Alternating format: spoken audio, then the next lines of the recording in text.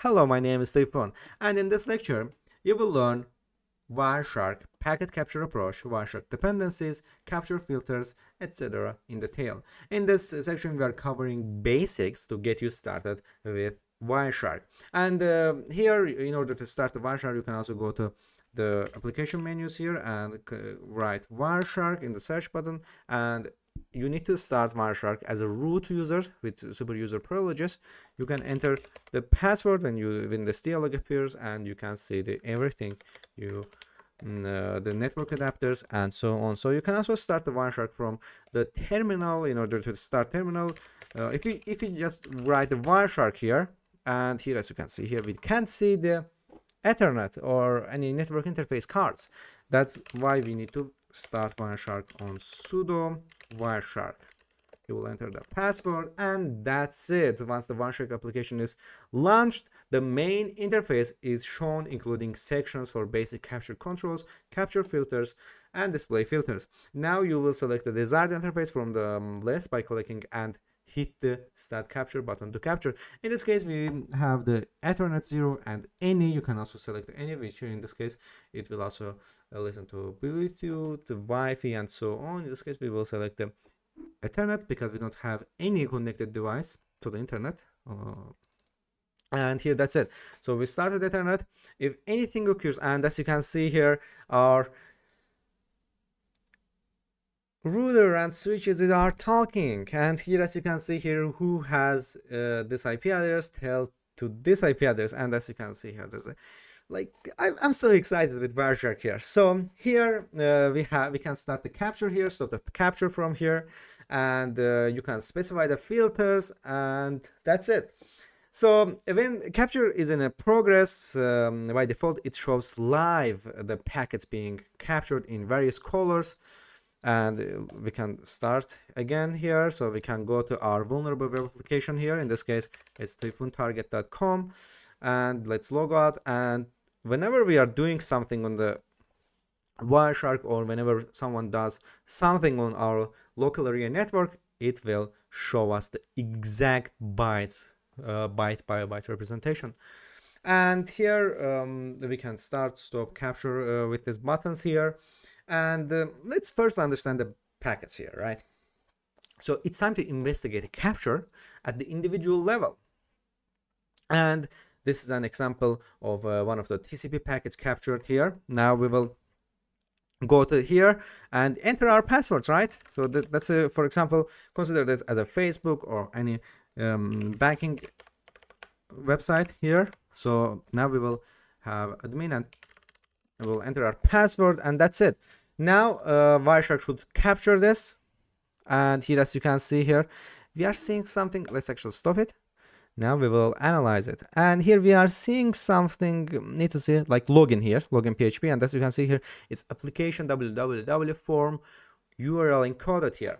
So now let's uh, select this. By clicking on it you can select the packets. And here in this here you uh, the packets details will appear. Let's actually use the Gromit here. I will draft things on the screen. That's it. And here we have the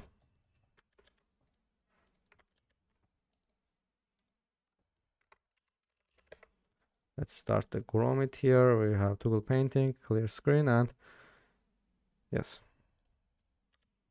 As you can see we have I also have the application drawing thing that's it. So now when a packet is selected Wireshark opens the bottom panel here. You can see here bottom panel. This is the bottom panel of Wireshark.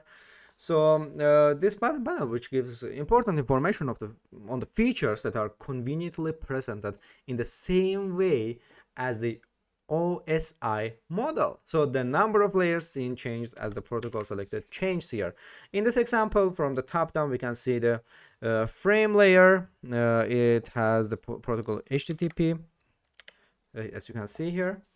And uh, it's in the Ethernet data link layer. And uh, the we can also see the IP uh, network layer. We have Ethernet 2, Internet Protocol version 4, source address and destination address transmission protocol and we have port and so on. And we also have the hypertext uh, hypertransfer protocol which uh, we will get some pretty confident information confidential information from that here. So we will get the passwords we entered the last time we visited our website right? So um, if there are more layers or headers in the packet it is sequentially decoded in the wireshark packet view so for a packet with multiple encapsulation protocols to decode it properly, there must be a dissector available that decodes the corresponding protocol layer. So every packet uh, decode starts with a frame dissector, right? Uh, it dissects the detail of the captured metadata itself um, as you can call it the timestamps right so the the frame dissector passes the data to the lowest level data dissector in the data link layer for example the Ether, Ethernet uh, dissector gets triggered from the for the Ethernet header. So the packet is then passed to the next dissector in the network layer. For example, IP, IP version 4 or version 6 dissector gets triggered and so on. So each stage of dissectors decodes and displays the details of the packet. And dissectors can be written as uh, self-registering plugin for example, a shared library or DLL, or built into Wireshark source code. So the biggest benefit of uh, going with the plugin approach is that rebuilding a plugin is much faster. And if the dissector is built into the source code, the Wireshark needs to be completely recompiled and rebuilt. Hence, it makes more sense to write a dissector as a plugin, right? So uh, you will learn more details on dissectors in um, next lectures also. But let's firstly get started with the capture filters in Wireshark. So um, we will uh, discuss in detail uh, capture filters in next lectures, but only basics have been included here in the section for completeness on getting started discussion. So capture filters are used to decrease the size of captures uh, by filtering out only relevant packets matching the condition before they are added to the capture file. Uh, so clicking on the capture options um, button shows a screen containing a list of interfaces. So in order to do that, you will need to find this setting icon. it's usually there. and here, uh, when clicking on that, you will see this dialog here. So um, uh, to set a filter, either an interface can be double clicked like this um, or a custom filter can be entered in the box right so now we will open that again or uh, before that let's actually enter our uh, password again uh, because our previous packet analysis is lost because we don't save them. Password here and that's it. And now we're gonna see the post login here. This is usually the login pages uh, that uses the post method. And here uh, now we will go to that again. So we stopped the filter and here we as i said you can double click on the capture options uh, but uh, remember before double clicking on any interface uh, on this dialog you need to save the file in order to get, get lost and captured interface. So here to set a filter, um, you can also select a custom filter can be entered in the text box. Uh, so the, there's a um, list uh, here uh, that shows example of simple capture filters. For example, we can use the SRC here. SRC host. So we will enter the our SRC host. So let's actually uh, scan our host with nmap so nmap sv here uh, typhoon typhoon target.com and now we will get that uh, host domain address ip address ip version 4 address and now sorry. We'll just do this. And here yes we can see the ip address here uh, 192.168.13.142 and now we will uh, use this filter to just listen to the packets from this host. And here in order to do that we will just write that IP address down was 13 point yes 142 and you can uh, press on start and we can also save them before starting a new capture or we will not save them in this course. And here as you can see here whenever we restart this page there is something new will come here. And as you can see here it's the new information is gathering. So now we will go press on logout and here we also have this uh, 302 font. And we can read it from the hypertext transfer the protocol. We have no cache connect type connect length and so on.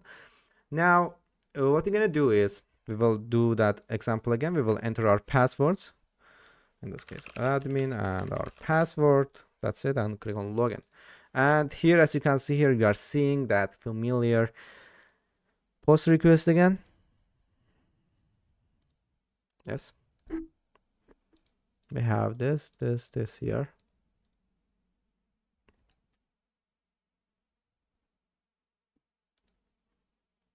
Let's log in log out again and admin here and password and here as you can see here we have several information here. So you can also use another filters as well like net right? So we we can with this net here and you will need to delete this and 24 subnet mask. So we will listen to the packets to and from all host part of the network here. So from 0 to 255 ip address right right? So we can also use the port here port and we will listen to only packets that connected within this port here. So communicating with this port here and now since we are communicating on port 80 we will see informations here and we also have the display filters on Wireshark, which we will discuss in next lecture. My name is Stefan and I'm waiting you in next lecture.